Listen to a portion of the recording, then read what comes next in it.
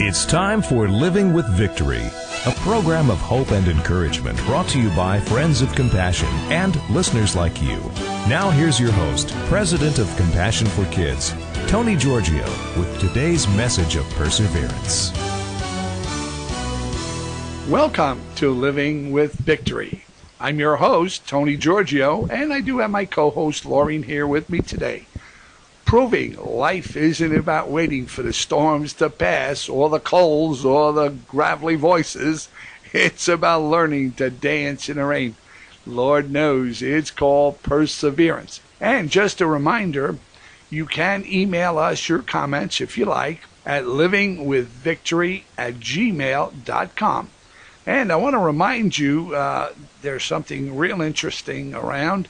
It's called the Journey Christian Newspaper and it's a free monthly print and online publication offering Christian perspective news, Christian events, and encouraging articles. Visit their website at www.journeychristiannews.com. The Christian newspaper encourages Christians on their walk with Christ. Now, for the word of the day, and my wonderful, wonderful co host here, Laureen, who will read it and we'll get on with our subject for today. Hi, hi everyone. It's so good to be here. We're going to talk today about something that is very close to my heart and I love to do. I love to praise God. Habakkuk is a very small book in the Bible. There are only three chapters. But there's a verse there that is to me very powerful and I wanted to share it with you. Habakkuk 3:19. The Lord God is my strength my personal bravery, and my invincible army. He makes my feet like hinds' feet and will make me to walk, not stand still in terror, but to walk and make spiritual progress upon my high places of trouble, suffering, or responsibility. The prophet was God's prophet and lived in Judah. And the prophet observed that the leaders in Judah were oppressing the poor. And so he raises the question as to why God allows these wicked people to prosper. I believe we can all relate to this statement. We feel we're struggling, we're trying to do things the right way, and people out there may be doing everything against God's way and prospering. Habakkuk was upset about this and he was questioning God. Why do you allow this to happen? Then God assures him that the Chaldeans, which is another nation that is very wicked and evil, will come to punish Judah, he becomes more concerned. How can justice prevail when the wicked Chaldeans, who are actually worse than the wicked Jews, are allowed by God to bring judgment upon God's chosen people? God's reply is that the just shall live by faith in God and have the confidence that God is doing what is right. Habakkuk is then assured that the Chaldeans will in due time be judged, and that ultimately righteousness and justice will prevail for the people of God. In a psalm of praise, which is the third chapter, Habakkuk resolves his problems.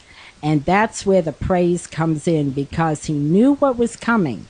It was going to be a very difficult time, but he found his peace and joy in God even though the storm was going to rage, in his praise to God. There's there's no no doubt about that. How many times, and and I think of a a story way way back when we had moved to Orlando, if, if you remember, uh, from Fort Lauderdale, and we had a house down there that we we didn't sell so we thought we'd rent, and we we gave it to a trusting uh, real estate uh, agent and asked them to rent it, which they did supposedly. And we are in Orlando, feeling quite good about everything. Uh, until the checks started coming in for the rent and the checks were bouncing and hence it never got fine it, it, it just seemed to get worse to the point where now we're we're not paying the mortgage on that house. Sound familiar?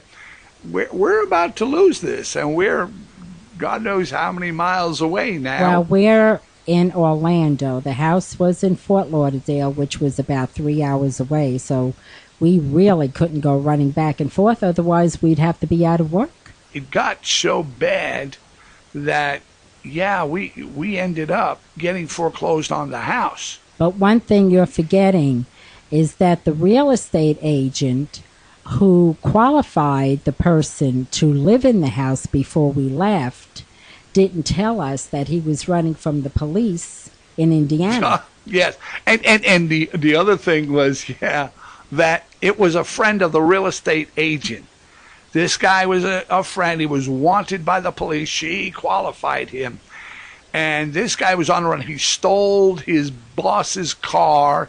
And the woman who he had with him from which he's from Indiana. He said it was his wife. it was wasn't so his wife. crazy. You got to understand. This was wild. I have I have a wanted criminal in my house with a real estate agent saying, "Oh yeah, it's perfectly okay." But the best part of it was he moved out and rented the house to someone else. Oh yeah. Oh, I was forgot. He t- he's not paying me. His checks are bouncing. Real estate agent saying everything's okay. He goes off. He gets a guy. I don't know where. Two thousand dollars he charges this guy. Gives him the lease, and this guy moves in. Well, there is no way. You know, this is a no-win situation. He's not paying any more money because he paid that guy two thousand dollars who skipped town. He left. Police couldn't find him. It, it was unbelievable. You, now we're talking about see evil, you know, gets the good, and it, Most definitely. We were surrounded by it. But you know what? There's where the frustration comes in. And we were in Orlando saying, God, just like Habakkuk, what? why? I don't get this. But it's okay to talk to God because He is a personal God and He knows our frustration. He was down here and He died for us. So He knows what we all go through. And He does not mind one bit to have a dialogue with us. I'm going to read you something out of the Application Study Bible, King James Version, which explains the verse that Laureen just read in Habakkuk. And it says that God will give his followers sure footed confidence through difficult times. Wow, did we need that? And they will run like deer across rough and dangerous terrain at the proper time. God, and I term this perseverance, at the proper time, God will bring about his justice and completely rid the world of evil. In the meantime, God's people need to live in the strength of his spirit, confident in his ultimate victory over evil. And that was from the Life Application King James Version Study Bible. Wow, well, we smacked around. I mean, it, it was crazy. It, it didn't make any sense. I had to call the police. I'm trying to track this guy. You know, he, he's with the, the, the barmaid from the bar. It's not his wife. Good Lord. Yeah, it was just wild. They wrecked the house. I mean, they had taken that place apart. I got a guy who's living in there who's not paying me anything. So, hey, vey, you know. Well, we were praying so hard how to resolve this because, in good faith, we left, leaving everything in place because we didn't want to cheat the mortgage company. We wanted to pay for the house, and we thought we had it all covered. But, you know, sometimes things just happen that way. And, you know, and we're asking God, what do we do now? How do we get out of this and make this right? And Tony was on the phone with the mortgage company, I don't know how many times. see, as Christians, sometimes we put our faith and trust in people, in what we are being told. We, we, we put everything in place we thought was okay, but again, we trusted in man, and that, that doesn't always work out. You, you got to trust in the Lord Jesus leading you. When they were finally going to foreclose on the house, a lawyer told us to go down to Fort Lauderdale to explain what had happened so that we would not have to owe anything after the foreclosure. I worked at nights at Disney and I hadn't had a problem with my car. It was running fine. The minute I got out of work, got into my car, it wouldn't start. we had to leave early the next morning, get down to Fort Lauderdale, be in the courthouse to be before the judge and explain ourselves and all of that. That car, it would stall. It would not start up. If you stopped it, you turned the engine off, you were finished. We took this trip with this car all the way to Fort Lauderdale doing this. All right? And and you talk about having confidence, but also praying along the way. And we did our warfare because we were praising God, because we didn't understand it, but we certainly knew it wasn't God doing this to us. Evil is all around, and for some reason, Satan didn't want us down there, but we had to get there, so we persevered. So we, we just made our way inch by inch, and you talk about frustrating, but we, we were trusting. And that's why, you know, we try to tell you in our lifetime, we've had some real whoppers here, as they say. Even up to the point of pulling it to the parking lot. The car died. We couldn't put it in a parking space. No, I well, I tell you what, we the the weirdest the weirdest thing of all is there we are we're in, we finally make it to the courthouse with like a minute to spare, and we are really we're we're tired we're we're out of breath we're rushing.